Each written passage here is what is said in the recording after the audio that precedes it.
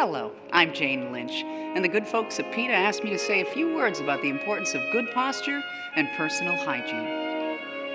But I don't want to talk about that.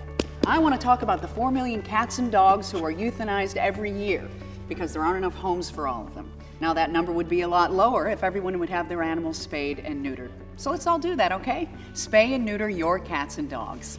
Thanks. Oh, and it probably wouldn't kill you to stand up straight and slap on a little deodorant.